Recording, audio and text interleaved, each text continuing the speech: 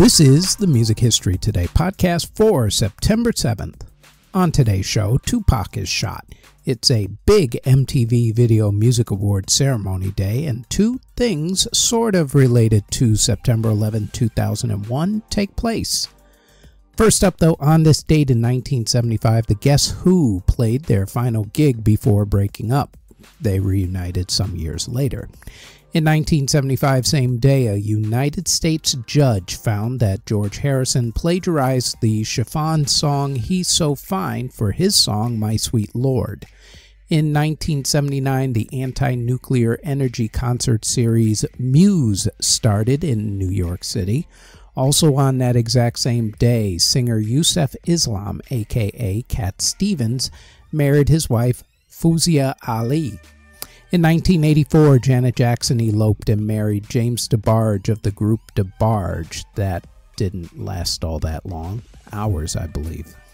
In 1985, at the height of the movie soundtrack era, for the first time since the late 1950s, the top three songs on Billboard's Hot 100 Singles chart were all from movies. Number three was Tina Turner's We Don't Need Another Hero from Mad Max Beyond Thunderdome.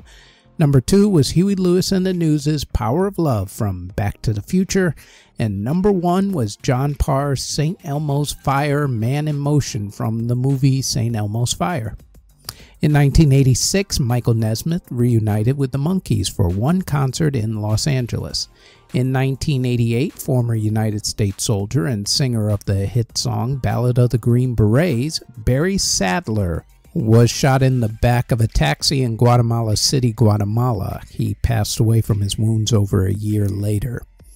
In 1996, Tupac Shakur was shot five times in a drive by shooting in Las Vegas, Nevada, after watching a Mike Tyson heavyweight bout.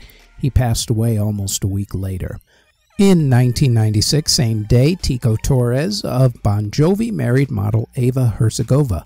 In 2001, Michael Jackson performed the first of two concerts at Madison Square Garden in New York City as part of his 30th anniversary tribute concerts. The second concert would be held on September 10th, the night before the terrorist attacks a couple miles away at the World Trade Center. Also in 2001, Ryan Adams shot a music video for his song New York, New York at Brooklyn Bridge Park in Brooklyn, New York, across from Lower Manhattan. The video featured the World Trade Center in the background. Four days later, those buildings would be gone. In 2003, John Mellencamp, Neil Young, and Willie Nelson were among the performers at the Farm Aid 17 charity concert. In 2008, Noel Gallagher of Oasis was attacked during a performance in Toronto, Canada by a fan who rushed the stage. In 2013, country music singer Sunny Ozell married actor Patrick Stewart. In 2015, the group Day 6 was formed. In 2016, Bruce Springsteen and the E Street Band held their longest concert to date at that time when they performed for 4 hours and 4 minutes at Philadelphia. In 2018, Cardi B and Nicki Minaj had their now infamous fight during a Fashion Week event in New York City. And in 2020, singer Lily Allen married actor David Harbour, who plays Hooper on Stranger Things. They got married in Las Vegas by an Elvis impersonator, no less. In theater. In 1974, the Broadway show Irene closed, and in 2008, the musical Rent closed on Broadway. In award ceremonies that were held on September 7th in 1988, INXS was the big winner at the MTV Video Music Awards. In 1995, TLC, Madonna, and Tom Petty were among the big winners at the MTV Video Music Awards. In 2000, it was Eminem's big year at the MTV Video Music Awards. The ceremony is best remembered, though, for when Rage Against the Machine bassist Tim Commerford climbed the backdrop on stage while Limp Bizkit was on stage performing. And in 2008, Chris Brown and Britney Spears were among the big winners at the MTV Video Music Awards.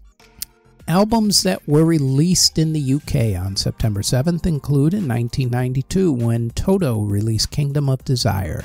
Meanwhile, in America, in 1973, The Mothers of Invention released Overnight Sensation. In 1974, Earth, Wind, and Fire released Another Time. In 1979, Iggy Pop released New Values. Gary Numan released The Pleasure Principle, and The Slits released Cut. In 1981, Matt Johnson released Burning Blue Soul. In 1982, Kool and the Gang released As One, and Iggy Pop released Zombie Birdhouse. In 1984, Jethro Tull released Under Wraps, Queensryche released The Warning, and Mercyful Fate released Don't Break the Oath. In 1987, the Pet Shop Boys released Actually, Mike Oldfield released Islands, and Timothy B. Schmit released Timothy B. In 1990, Led Zeppelin released the Led Zeppelin box set. In 1993, John Hiatt released Perfectly Good Guitar, Iggy Pop released American Caesar, John Mellencamp released Human Wheels. In 1998, Belle and Sebastian released The Boy with the Arab Strap. In 1999, Agnostic Front released Riot Riot Upstart, and the Buzzcocks released Modern. In 2004, Jesse Colin Young released Living in Paradise, Matthew Sweet released Living Things, and Christine McVie released In the Meantime. In 2009, Cilla Black released Cilla All Mixed Up.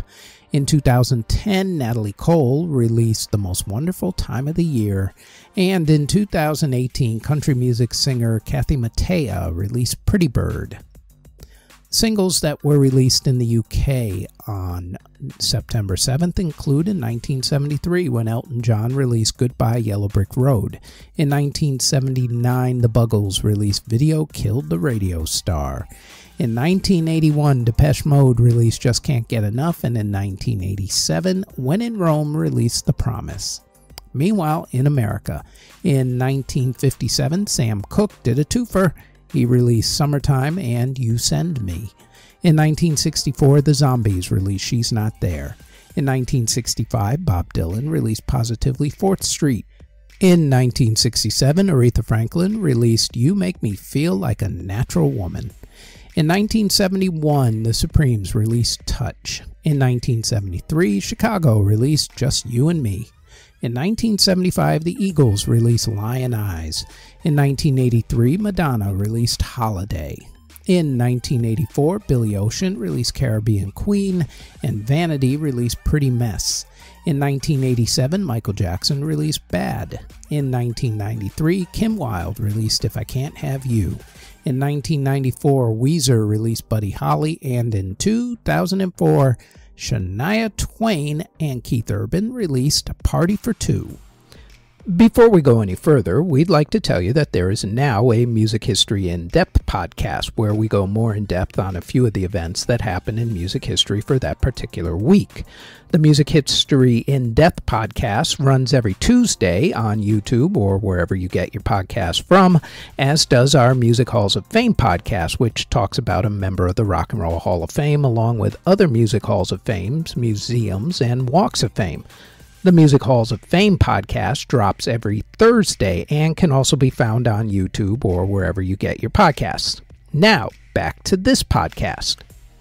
Artists who were born on September 7th include Rock and Roll Hall of Famer Buddy Holly, singer Rosie McClelland, rapper YK Osiris, singer Gracie Abrams, singer Loren Allred, Ronnie Gilbert of The Weavers, Chad Sexton of 311, Easy E of NWA, Benmont Tench of Tom Petty and the Heartbreakers, Chrissie Hynde of The Pretenders, singer extraordinaire Miss Gloria Gaynor, Alfa Anderson of Chic, jazz saxophonist Sonny Rollins, blues singer Little Milton, Ben Bossi of Romeo Void, composer Diane Warren, Margot Chapman of Starland Vocal Band of Afternoon Delight fame, singer Jermaine Stewart, David Steele of Fine Young Cannibals, LeRoi Moore of the Dave Matthews Band, singer Ronnie Dove, Dennis Thompson of MC5, saxophonist Ron Blake, Christopher Acland of Lush, Kyle Stevens of Bango Tango,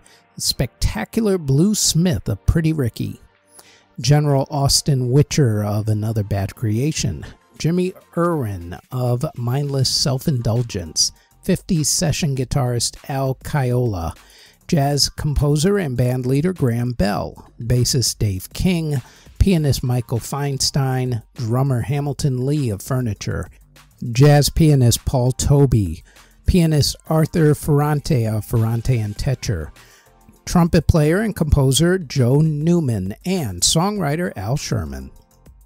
Artists who unfortunately passed away on September 7th include violinist Johann Holzbogen, who passed away in 1775 at the age of 48.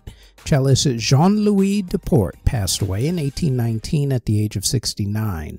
Violinist Joseph Panny passed away in 1838 at the age of 43.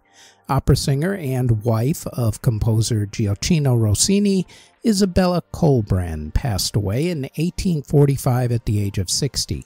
Pianist Antony Stolp passed away in 1872 at the age of 21.